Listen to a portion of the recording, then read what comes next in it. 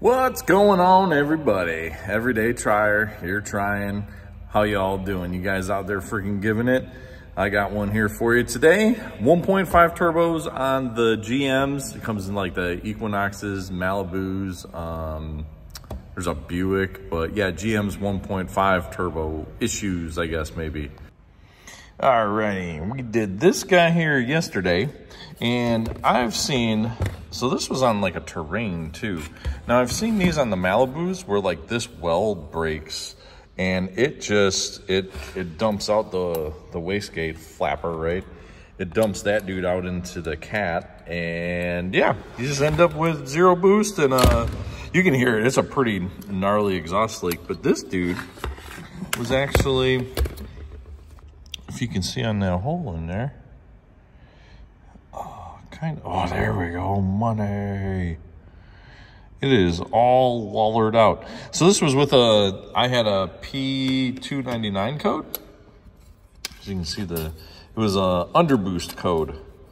So essentially, this dude here was just freestyling it and not being able to give us some adequate boosts.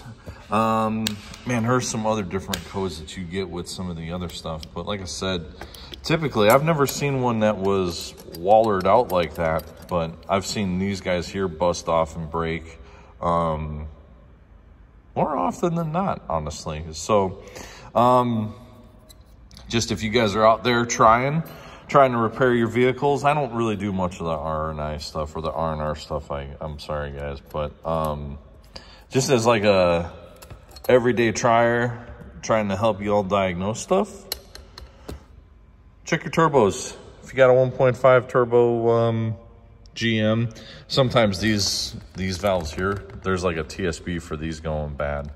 Um, minimal success with those though, to be honest. I mean, that's what I've seen anyways. Um, and I think maybe this is the wastegate actuator. I can't remember. No, but this guy. Either way, if you guys are diagnosing your turbos or trying to figure out what's going on, everything seems intact but not making sense, just give a little visual. You got to pop the little heat shield up and give her a check. So anyways, keep trying out there, guys. Keep giving it. Don't give up. You can do it.